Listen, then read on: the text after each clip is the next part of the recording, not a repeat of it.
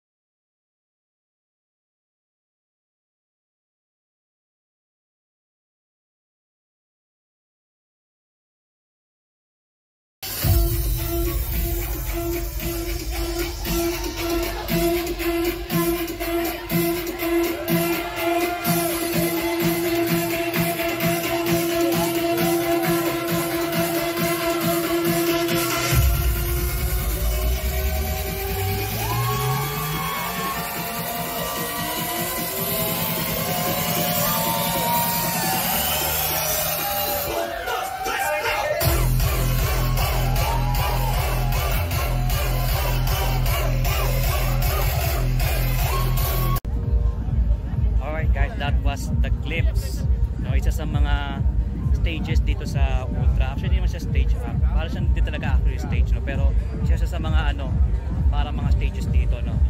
Um, now we're walking um, just 5 minutes away. Um, dito naman kasi ibang ano um, this is a Carl Cox mega structure no? I'm not sure but uh, a while ago we're in the Eco Village then. Now we're in Carl Cox mega structure this is another stage guys. Check it out one moment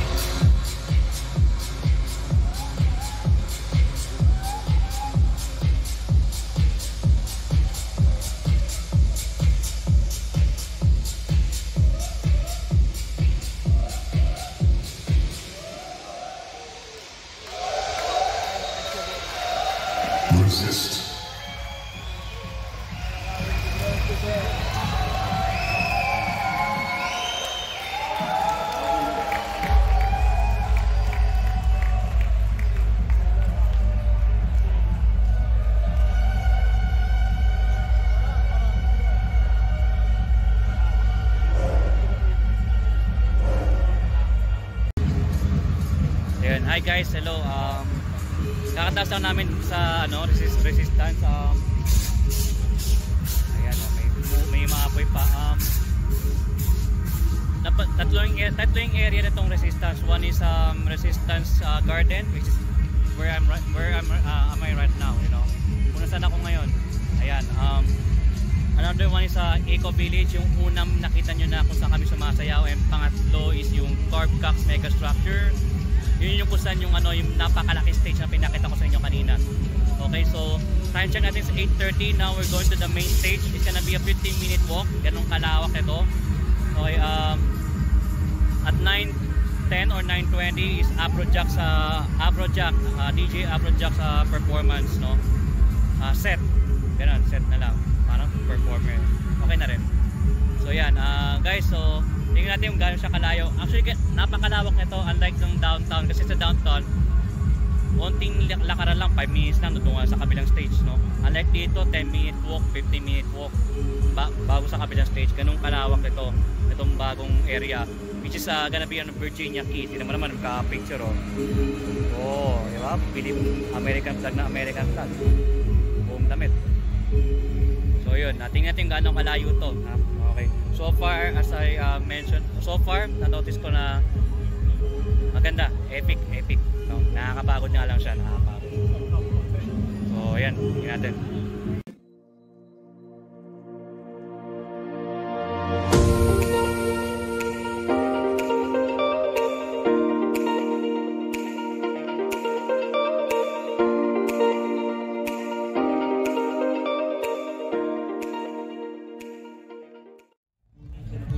alright guys nandito na tayo sa Sa main event, sa main stage, no?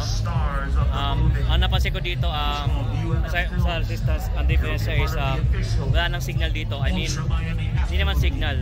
Um, Millions of makakapag people text and call pa rin kayo pero wi wifi oh sorry mobile data and wifi wala na. No, so hindi na, hindi na makapag-internet dito only call and text lang. Okay napakagaling nila no? Ay, nila mag by the way ito yung sa likod ko yan medyo malayo siya. Kami nalapit kami. Kami nalapit. Naghihintay naghihintay lang kami ng mga kasama namin. Um, time, time check is 9.10 it took us 20 minutes to para makarating dito from resistance no? 20 minute walk medyo malayo. um, in a few minutes uh, si, uh, lalabas na si Afrojack no? Si Afrojack na yung mag, ano, mag, mag DJ after Afrojack is gonna be after Afrojack is gonna be uh, David Guetta. Then after David Guetta the last one is Chainsmokers so kami papakita ko sa ano okay? Check it out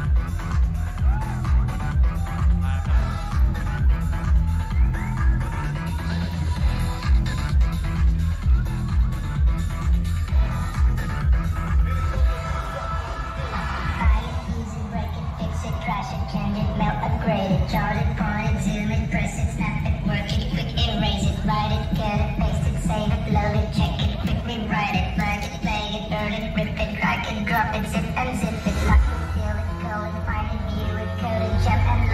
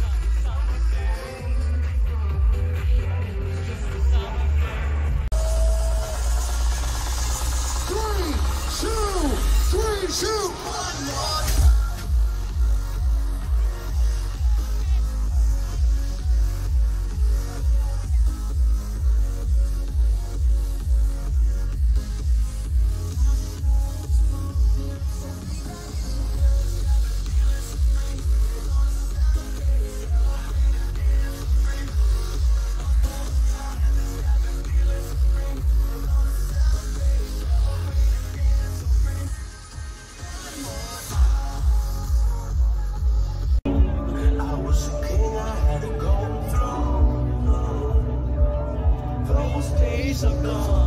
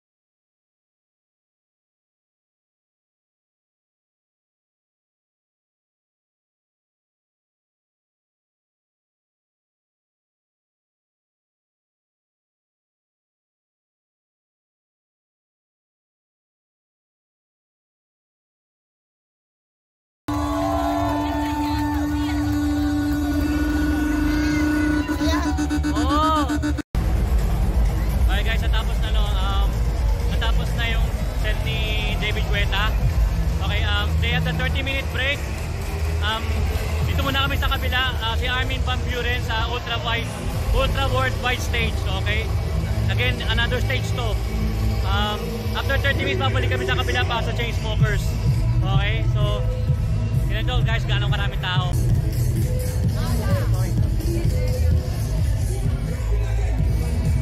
This is the Ultra Worldwide Stage. Sa kabila naman, ito is the UMF Radio, if I'm not mistaken.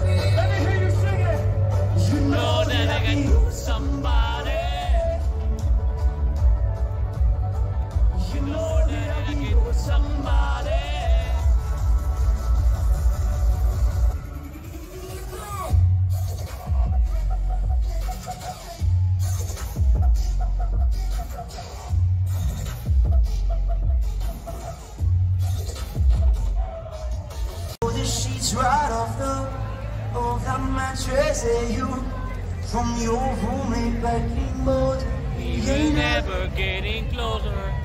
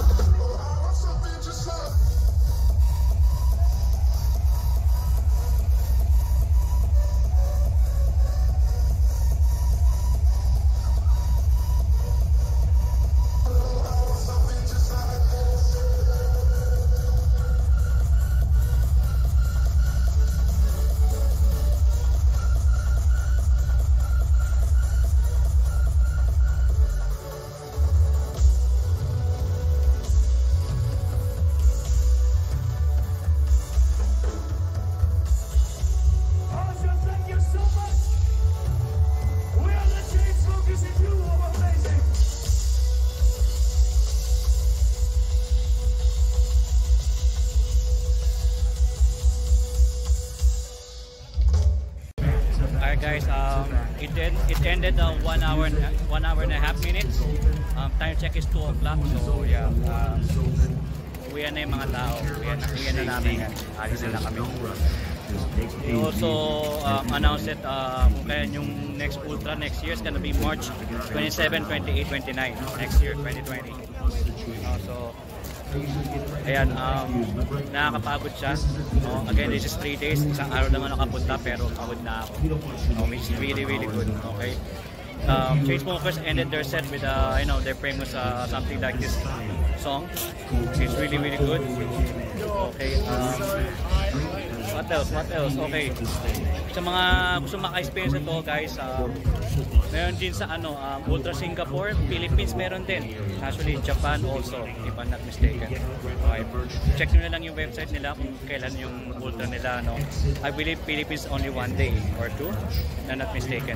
Pero guys, once in a lifetime experience, kailangan mapunta nyo to.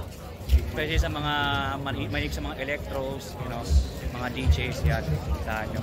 So again, um, pagod na kami. Um, we're going home. So, see you again on my next vlog. Thank you very much guys. Peace.